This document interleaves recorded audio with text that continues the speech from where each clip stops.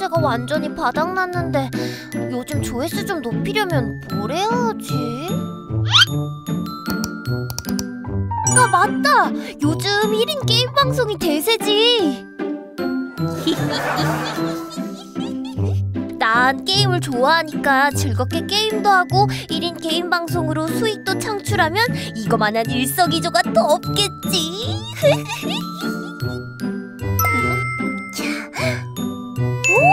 마침 이렇게 신작 게임도 나와 있으니까 요걸 리뷰하면 구독자 수도 조회수도 팍팍 얻을 수 있을 거야.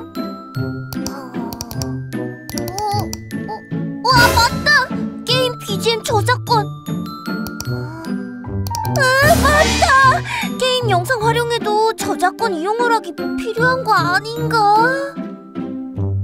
아니 근데 게임 방송을 전문으로 하는 유명인이나 BJ들도 많은데 그 사람들은 저작권을 다 해결하고서 방송하는 건가?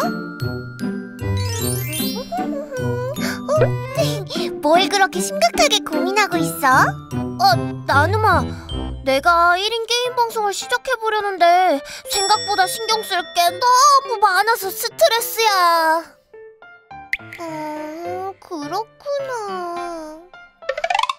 잘 들어 창자가 게임은 플레이 장면까지 모두 포함해서 하나의 영상 저작물로 보고 있어 그렇기 때문에 원칙적으로는 게임 회사의 허락 없이 게임을 플레이하는 방송을 한다면 그건 저작권 침해가 되지.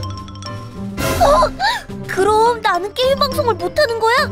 근데 나만 빼고 다 한다 싶을 정도로 많이들 하던데 이걸로 크게 잡음이 나는 일도 못 본 것 같고 사실 게임 방송을 재미있게 하면 게임에 대한 관심도 높아지고 게임 회사의 매출도 오를 수 있기 때문에 특별히 제재하지 않는 경우도 있어. 오, 그러면 나도 한번? 에이, 하지만 그렇다고 해서 게임 방송을 그냥 해도 된다는 얘기가 아니야. 게임에 따라서 비영리 콘텐츠에는 자유로운 방송을 허락하는가 하면 줄거리가 중요한 게임의 경우에는 영리 여부와 관계없이 방송에서의 게임 화면 사용을 엄격하게 제한하기도 한다고. 음. 그러니까 기본적으로는 게임 제작사나 게임 음악 저작권자 등에게 이용 허락을 받는 것이 원칙이야. 그리고 앞에서도 말했듯이 조건부 허락을 공표하고 있는 게임 제작사들도 많으니 이 부분은 미리 확인을 해봐야 하지. 그럼 내친 김에 우리도 게임 제작사 측에 문의를 먼저 해볼까? 뭐? 어디에다가? 이럴 줄 알고 내가 라이엇 게임즈의 담당자 연락처를 받아놨거든. 안녕하세요. 저희는 한국 저작권위원회 창작이와 나눔인데요. 네, 안녕하세요. 라이엇 게임즈에서 공표하고 있는 조건부 허락에 대한 내용이 궁금해요. 네, 라이엇 게임즈는 현재 허용하고 있는 지식 재산권에 관한 내용을 법률 문서로 만들어 규정하여 게임 IP를 게임 방송 등에서 활용하려는 분들에게 설명하고 있어요. IP를 활용하시기 전에 꼭 읽어보시기를 권장드립니다.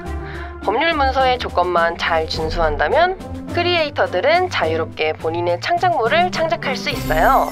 크게 강조드리고 싶은 두 가지는 상업적인 활용은 안 된다는 점과 저희가 자체적으로 진행하는 대회의 영상 활용은 별도 협의가 필요하다는 점입니다.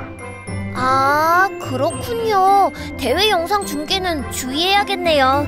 상업적인 활용은 아니어도 1인 게임 방송 크리에이터들은 플레이 영상을 통해 수익을 얻기도 하는데 이 경우 라이엇 게임즈에서 규정해 놓은 조항 같은 게 있나요?